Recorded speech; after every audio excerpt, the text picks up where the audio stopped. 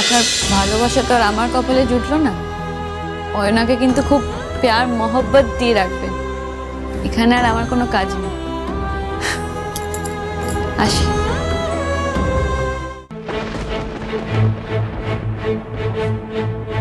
খুড়ি দাদুকে এমন কি বললেন যে দাদু এ বাড়ির এত বছরের নিয়ম ভাঙতে রাজি হয়ে গেলেন? আমার বিশ্বাস বনে। যেভাবে তুই আর চলে যাচ্ছিস, সেইভাবেই একদিন তুই আবার ঠিক এই বাড়ির চৌকাট পেরিয়ে ফিরবি। তোকে ফিরতেই হবে।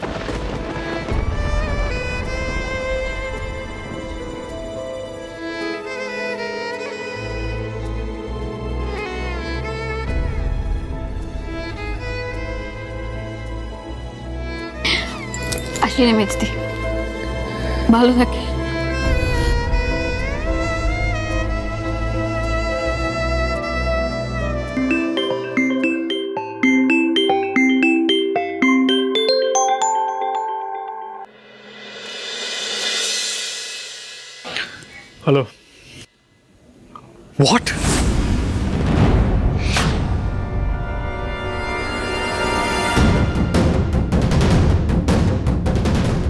this even possible?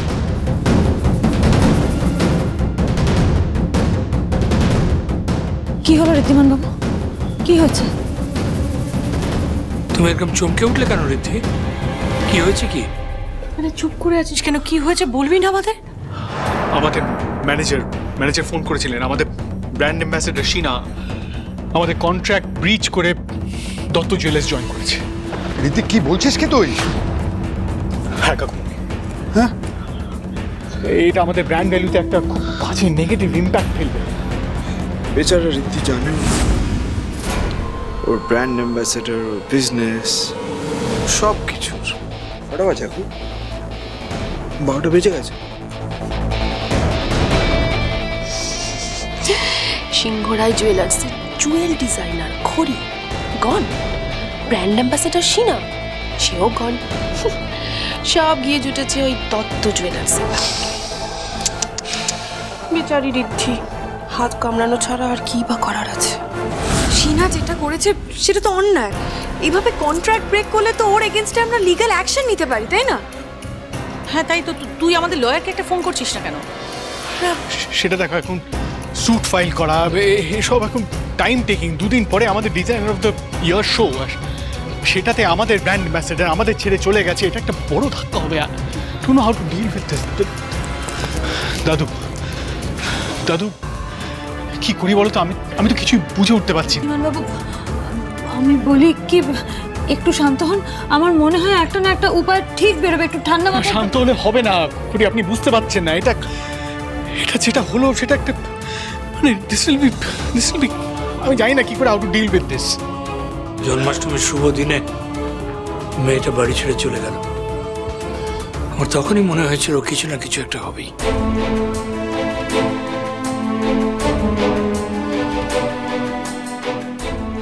এবারে প্রকৃত লক্ষ্যে কে ছিল? এবার বুঝতে পারছ তো ছোট বৌমা? বাবা, তুমি এইভাবে কেন বলছো ওকে? লক্ষ্মী তো উল্টে এসেছে আমাদের বাড়িতে। রিদ্ধি আমাদের তো অয়না আছে, এত এত চিন্তা কিসের অয়না, তুমি তোমার বাবাকে বুঝিয়ে বললে নিশ্চয়ই উনি শুনবেন, তাই না? বাবা হ্যাঁ? কি বলছো তুমি? তুমি কি অয়নাকে প্রেশারাইজ করে এইভাবে ওর বাবাকে কনভিন্স করতে পারো না? দ্যাটস ভেরি আরে বাবা তুই একটু শান্ত হ। আমি ওকে কেন প্রেশারাইজ করতে যাব? আমি জাস্ট ওকে বলছি যে আমাদের সমস্ত সমস্যা তো মিটে গিয়েছে। তাহলে কেন ও বলবেন ওর বাবাকে বল? হ্যাঁ মা অয়না মা। মা দেখো আমরা তো তোমাকে মেনেই নিয়েছি তাই না? তুমি প্লিজ একবার তোমার বাবাকে বুঝিয়ে বলো। উনি যদি বলেন তাহলে নিশ্চয়ই ব্যাপারটা সলভ হয়ে যাবে। সিনাকে প্লিজ ব্যাক করে দিতে বলো। আম সো সরি আঙ্কেল আমার পক্ষে এটা পসিবল না।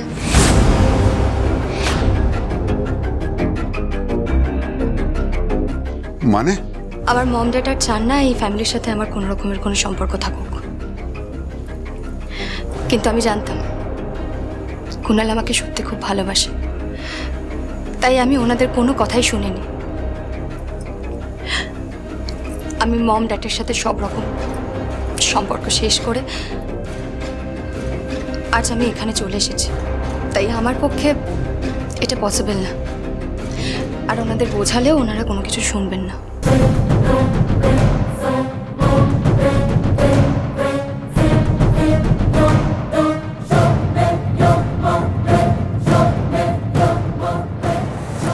আন্টি, আমি এখানে এসে ঠিক করিনি বলুন। তোমরা কেউ জানোই না আমি এই ক্যাপলা কুণালকে বিয়ে করতে নয়। আমার আর বাবার সেই অপমানের প্রতিশোধ নিতেই এখানে এসেছি। আর বাবা তো এই বিয়েটাও দিতে চেয়েছিল যাতে এই সিংহরায় জুয়েলার্সের মালকিন হই আমি।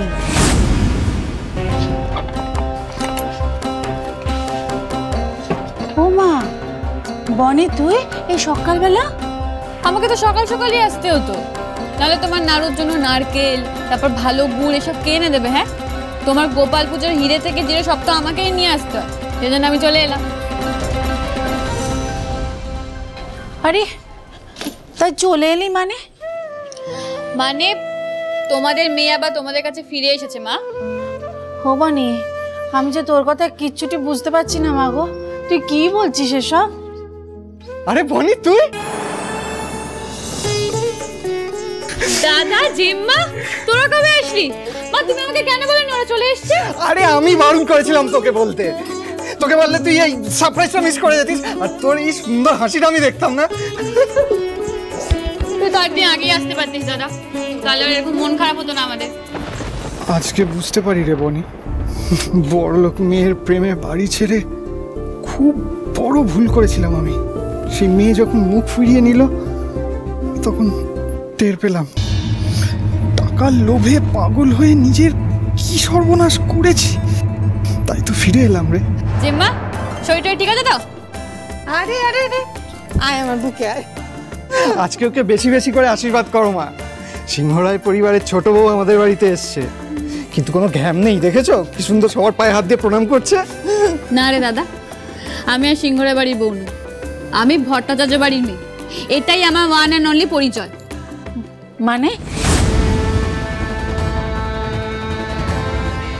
মা, তুমি তো কোনোদিনই চাইনি বলো যে আমার বিয়েটা এইভাবে হয়ে যাক। তোমাদের কীভাবে অপমানিত হতে হোক। তুমি তো জানো বলো যে আমি কীভাবে কুণালবাবুর ঘাড়ে চেপে বসেছিলাম। আর আমাদের বিয়েটা কীভাবে হয়েছে? আমি কুণালবাবুর জন্য, পরিবারের শান্তির জন্য তোমাদের সবার জন্য আমি বিয়েটা ভেঙে দিয়ে চলে এসেছি, মা।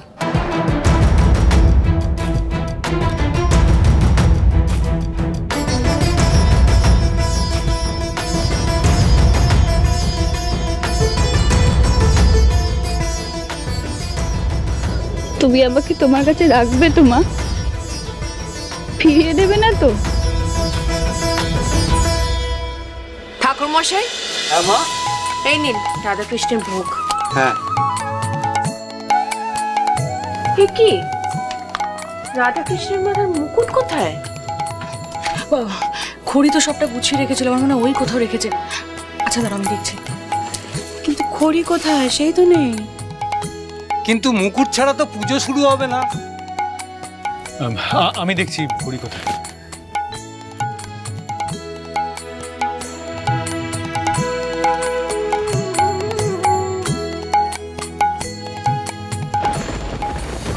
বনি এই বাড়ি ছেড়ে যাওয়ার পর থেকেই একটার পর একটা বিপত্তি এসেই চলেছে।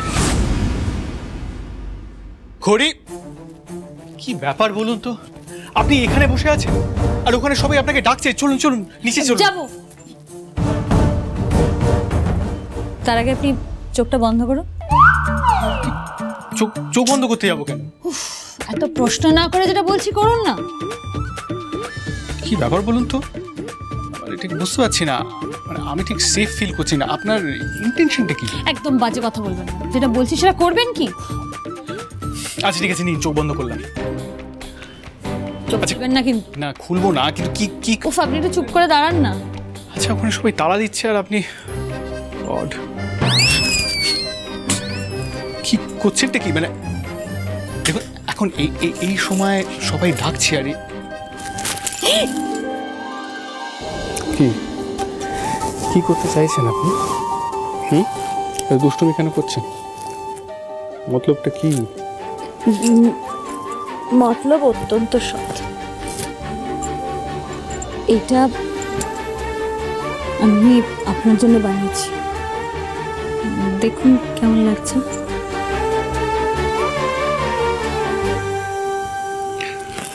ও তার মানে মুখে আপনি যতই রাগ দেখান মনে কিন্তু আপনার এই ঋদ্ধিমান সিংহরাই রয়েছে। হুম। আপনি যাই বলুন না কেন আপনি আমায় মিস করেন। কি হলো ঠিক বুঝতে পারছি না ওই হানিমুনটা আমার মনে হয় বেশ কাজে লেগেছে। তো বাজে কথা বলবেন না তো? বাজে কথা বলছি? এটা কি প্রুফ নয়? এখন আপনি আবার আমাকে গিফট দিচ্ছেন? আমার সঙ্গে দুষ্টুমি করছেন। খুড়ি কিন্তু আর সেই খুড়ি নেই, যে বলেছিল, না, আপনার সাথে হানিমুনে যাব না। মুখে যাই বলুন ঋদ্ধমান সিংহ রায়কে আপনি চোখে হারাচ্ছেন, তাই না? একদম। শুনুন, আপনাকে চোখে হারাতে না আমার বয়ে গেছে, আমার অনেক কাজ আছে, আর তাছাড়া আমি তো এই ঘরে এসেছিলাম পুজোর কয়েকটা জিনিস নিতে। আপনি আমার পেছন পেছন এসেছেন। যাই বাবা, আমার ভীষণ দেরি হয়ে যাচ্ছে। দেরি হয়ে যাচ্ছে? আমার জন্য? আর এই যে দেরি হচ্ছে সেটা বুঝি আপনার খারাপ লাগছে।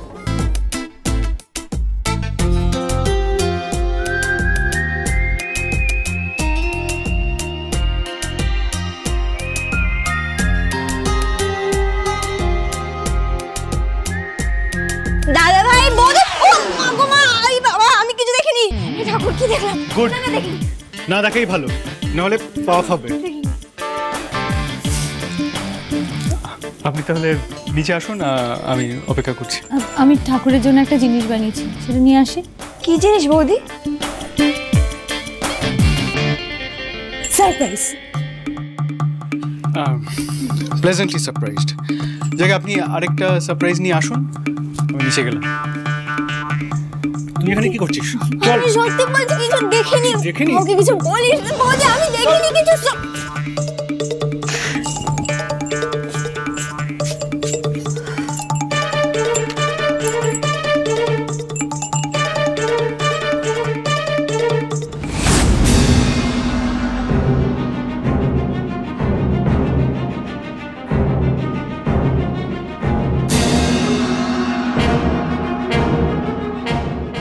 দত্তদের ডিজাইনার আমার বানানো ডিজাইন নকল করছে কেন? কি হচ্ছে? কিচ্ছু বুঝতে পারছি না। পুরোটা না জানা পর্যন্ত আমার তো একটু শান্তি হচ্ছে না। না, আর দেরি করা ঠিক হবে না। বোসবাবু, আমার ডিজাইন কাকে বিক্রি করছেন সেটা আজ আমাকে জানতেই হবে। এত কষ্টে আমার আর ঋদ্ধিমানবাবুর সম্পর্কটা একটু ভালো হয়েছে। মান অভিমান, ভুল বোঝাবুঝি একটু মিটেছে। আমি চাই না কোনো কারণে। ঋদ্ধিমানবাবু আবার আমাকে ভুল বুঝুন।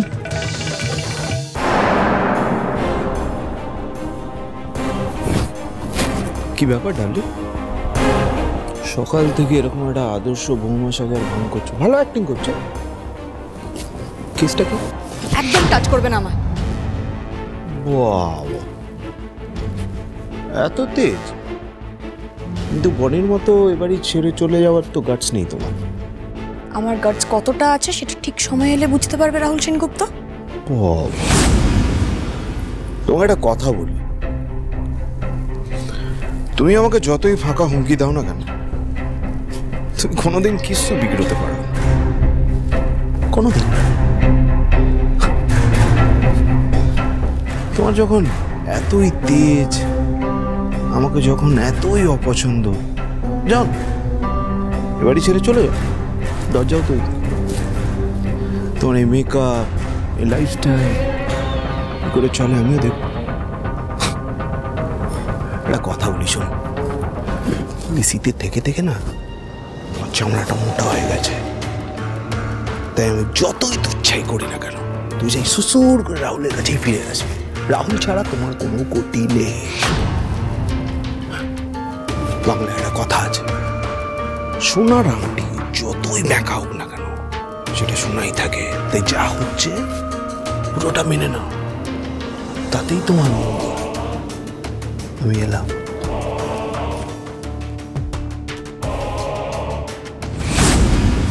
আজ আমি মন থেকে বলছি, ঠাকুর, নিজেকে প্রমাণ করার একটা সুযোগ দাও তুমি আমাকে। আমি যে অকন্মন্য নই, সেটা এবার আমি প্রমাণ করতে চাই। অন্যের কাছে নয়, ঠাকুর। নিজের কাছেই নিজেকে প্রমাণ করার একটা সুযোগ করে দাও প্লিজ আমি আর এই অপমানের জীবন বাঁচতে পারছি না। সহ্য হচ্ছে না আমার পারছি না আমি ঠাকুর পারছি না। আরে কি হলোটা কি হ্যাঁ?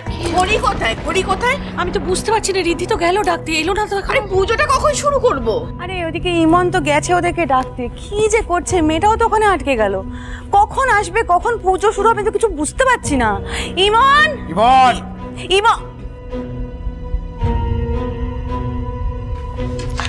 কিরে রিদ্ধি খড়ি কোথায়? এখন আসছে না কেন? আমি ডেকেছি এক্ষুনি চলে আসবে। উফ আসছে আসছে বলে হবে রিদ্ধি আর তো সময় নেই পুজোর তিথি তো পেরিয়ে যাবে তাড়াতাড়ি ডাকো ওকে। আর রাধাকৃষ্ণর মুকুটটাই বা কোথায়? ঠাকুর মশাই বলছেন মুকুট ছাড়া হবে না তো শুরু না না আসলে বৌদি তো পুরো সারপ্রাইজটা রেডি করে নিয়ে আসছে তাই হয়তো একটু দেরি হচ্ছে। সারপ্রাইজ কিসের সারপ্রাইজ আবার? আরে আমি এসে গেছি ম্যাডাম।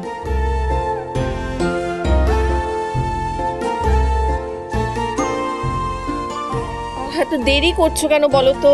আর রাধাকৃষ্ণ মুকুটটা কোথায়? ওটা ছাড়া তো পুজো শুরু করতে পারছি না। এই নিন ম্যাডাম।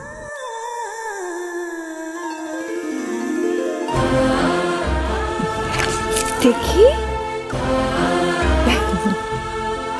এক মিনিট।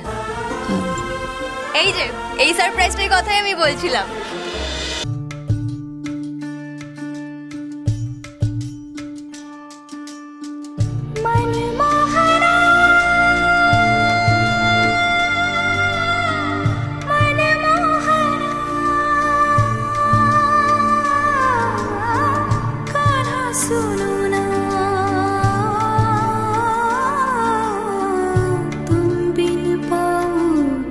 você.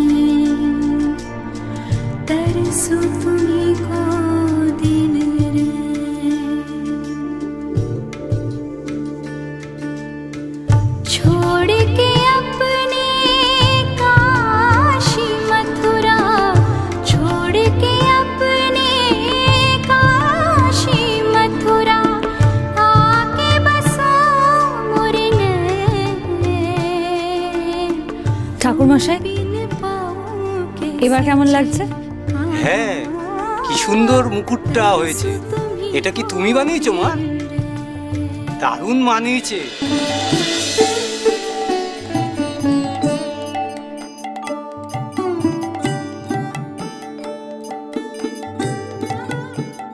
ম্যা- ম্যাডাম বলছি আমাকে ক্ষমা করবেন। আপনাকে না জিজ্ঞেস করি না। ওকে করি। রাধাকৃষ্ণের জন্য এত সুন্দর নিজের হাতে মুকুট তৈরি করে এনেছো। এর জন্য তুমি ক্ষমা চাইছো? না একদম না। তাছাড়া এই পুজোর সম্পূর্ণ দায়িত্ব তো তোমার এটা তোমারই পুজো। ক্ষমা চাইছো কেন? না তবু আসলে আপনাদের কাউকে কিছু না জিজ্ঞেস করে মুকুটটা আমি বানিয়ে ফেললাম। তাতে আমার পুজোর আয়োজন করতেও একটু দেরি হয়ে গেল তাই বেশ করেছ। এত সুন্দর নিজের হাতে তুমি আজ রাধাকৃষ্ণের মুকুট বানিয়ে এনেছো। তো অসাধারণ মুকুট সত্যি আমি আগে দেখিনি।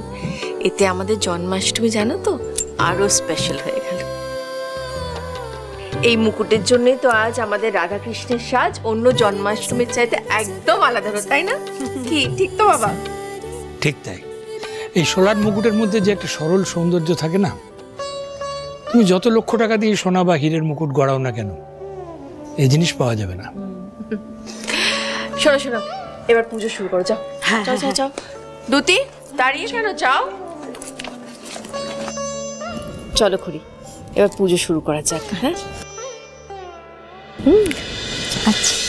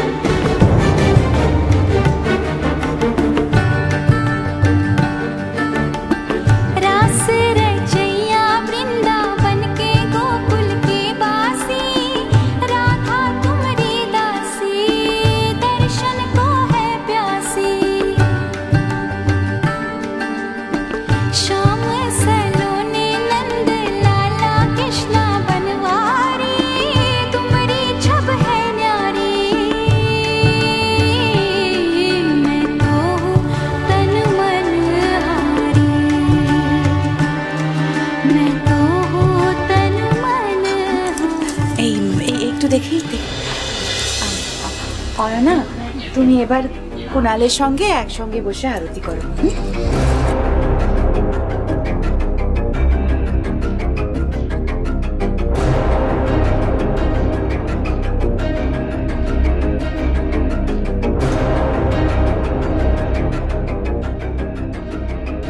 যতই পুজো করো, আরতি করো, কিন্তু এ বাড়ির মঙ্গল তো কোনোদিনই হবে না কারণ আমি হতে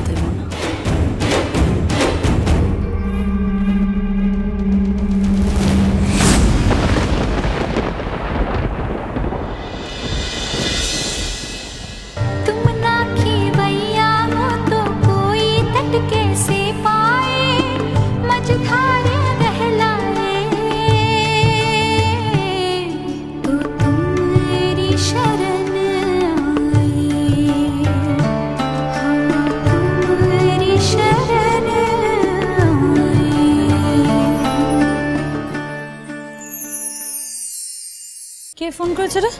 মিস্টার বোস বলে কেউ নেই মিস্টার বোস? আমি আপনার সাথে একটু দেখা করতে চাই। বিকেল পাঁচটায় পার্কে আসুন ম্যাডাম। কি খবর আছে? দত্তদের ডিজাইনারের খোঁজ পাওয়া গেছে। দত্তদের হয়ে যে ডিজাইন করছে তাকে আজ আমায় দেখতে হবে।